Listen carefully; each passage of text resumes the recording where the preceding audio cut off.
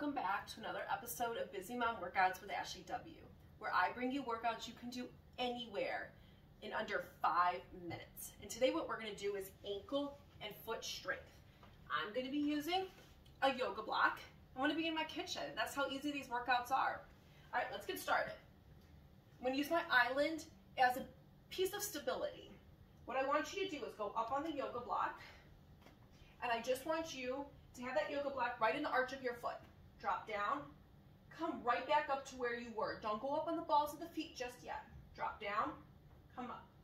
Drop down. You're gonna feel the stretch right in the calves, moving those ankles.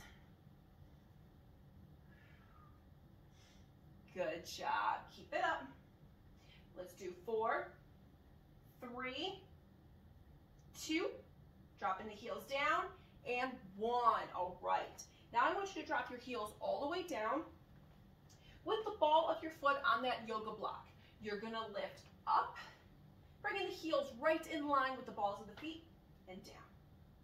Lift it up and down, not going too high.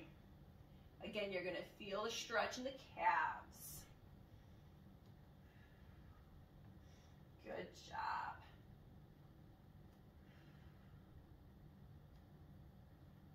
Good, let's do four, three, two, and one. Bring it down. Excellent job, you guys. All right, now we are going to go on the opposite side of the yoga block, bringing our heels onto it. What I want you to do is place the balls of your feet down on the floor.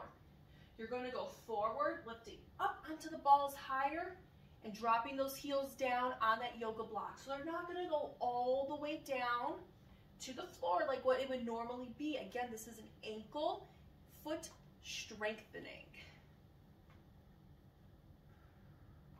Little lifts. So your brain is thinking that the heels are gonna go all the way down and we're changing it.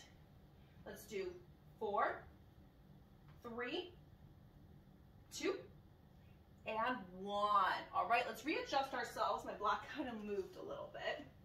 And what I want you to do is go back up on that yoga block, heels back on it, toes on the floor, sitting back into the heels, lift the toes up and bring them down.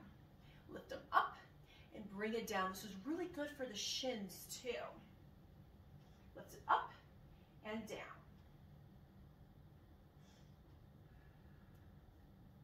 Let's do four, three, two, and one. All right, we're gonna be coming up to the outside. Gonna do something a little bit different. You're gonna invert your feet in, toes facing each other, hand on your hip. Lift your heels up and bring them down. Lift them up and bring them down. Now when I say lift them up, you're not going high up on the balls of the feet. You are just bringing them up right in line with that yoga block. Good, still drawing in that core, staying relaxed to the upper body. Again, this is a lower body workout.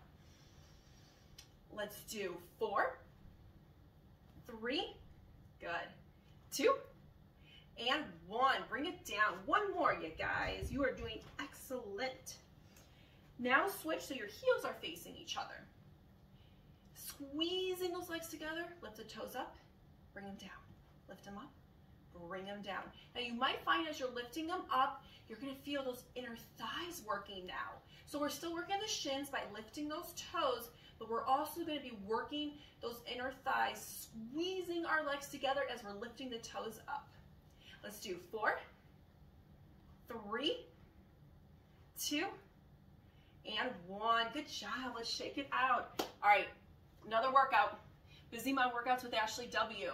Make sure you hit subscribe, and here's your next workout. All right, I'll see you later. Bye.